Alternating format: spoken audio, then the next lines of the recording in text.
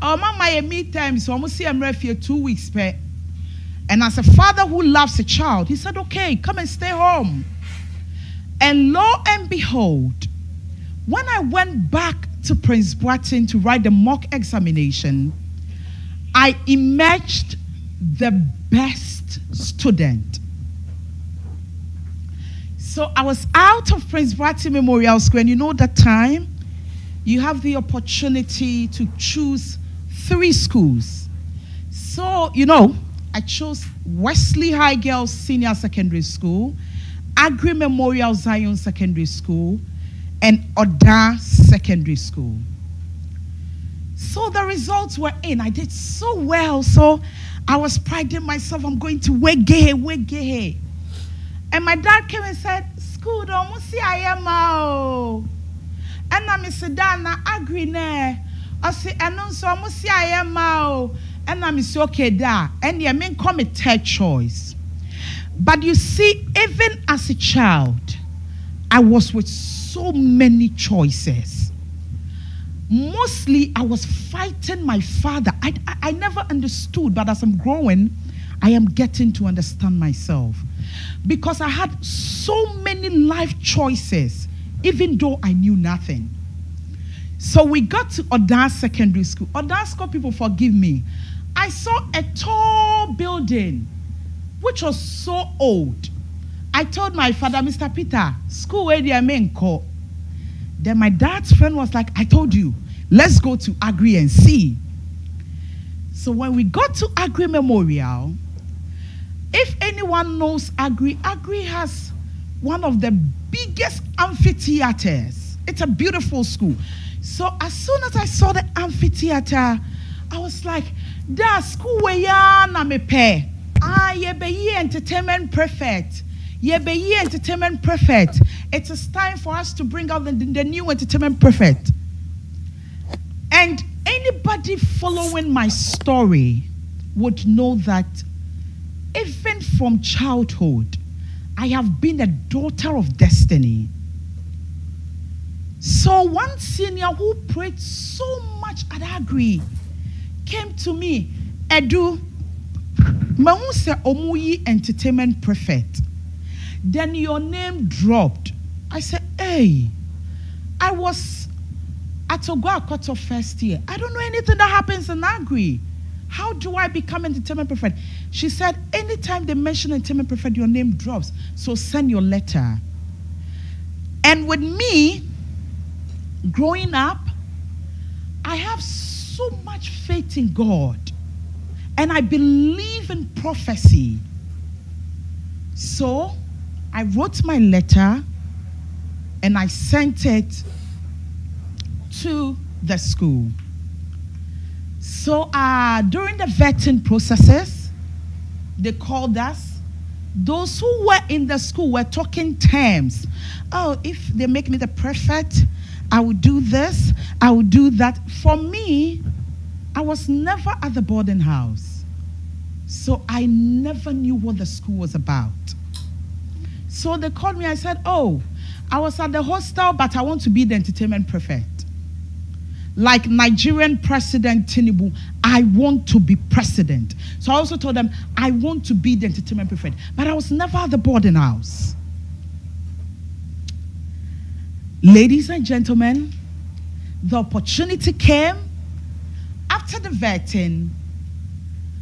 The whole school was paraded for prefect to be announced. They announced school prefect, blah, blah, blah, blah, blah, blah. Then they came to entertainment prefect.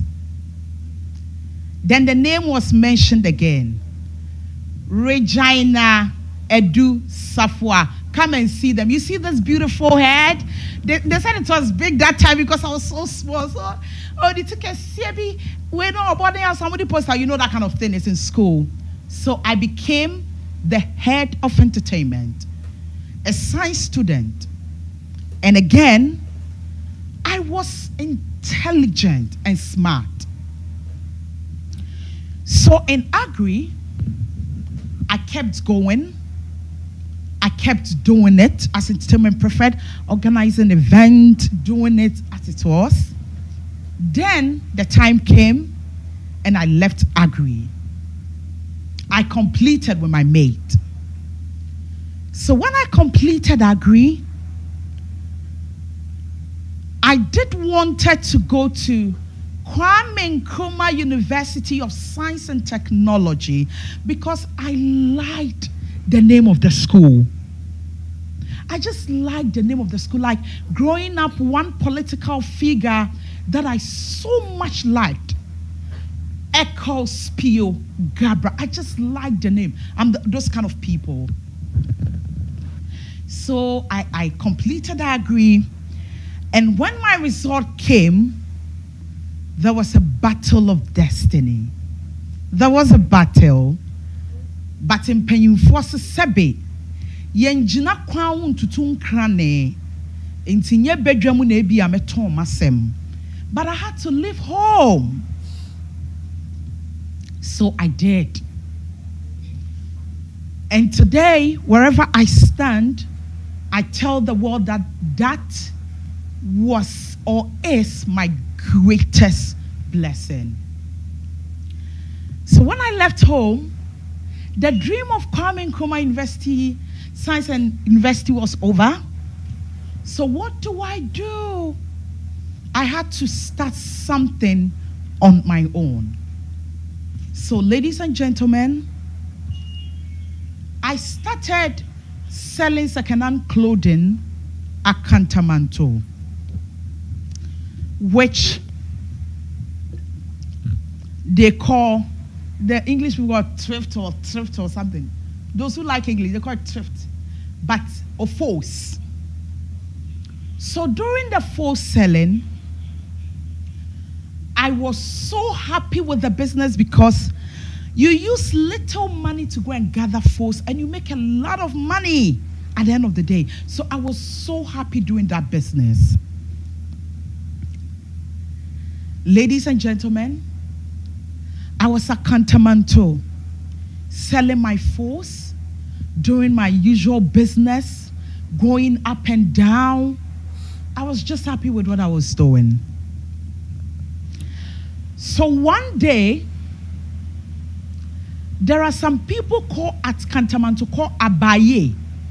They seize clothing. They seize my clothing and I had nothing to sell again.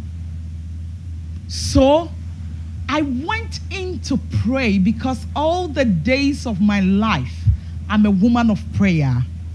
And I said, God, they've taken my second-hand clothing.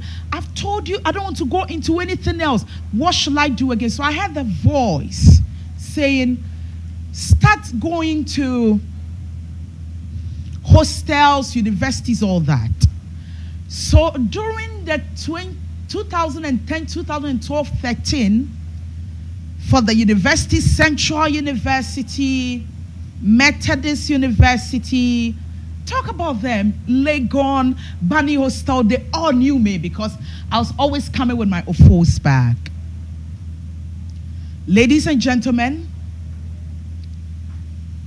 during this business, anytime I go to the girls and they're having conversation. I am a person that so much believe that when you go to Rome, do what the Romans do. So when I go and they're having conversations, I don't include myself because I felt I was just an ofo seller. So one day, they were talking for long. And they mentioned, because you know, I have the opportunity through my father, Mr. Peter Kofi Adu, to go to good schools, I met good people. So Akosia and friends were having a conversation. And in the conversation, Akosia called the renowned footballer, Abedi Pele's son, Rahim Ayew. So as soon as she said, Oh, that's my school father. She said, Hey, Obi a wotɔn force deɛ ɔyɛ de anim Rahim Ayew. I said, no, that's my school father. Let me talk to him. So I took the phone, talking to him, and Rahim was like, ah, na wonim adeɛ saa no woantoa school so ɛna mesi o school father metɔn fos ɛna ɔsɛ ɛnyɛ hwee bɛyie so the first time i spoke akosia was like ah you speak so well. And you have to go on radio or tv so i told akosia that akosia i don't know anybody so that will push me to go on radio or tv so me i'm selling my phone. She said no you don't need to know anybody. Go and use google. Abrabofo no can google. Ebi say google okay?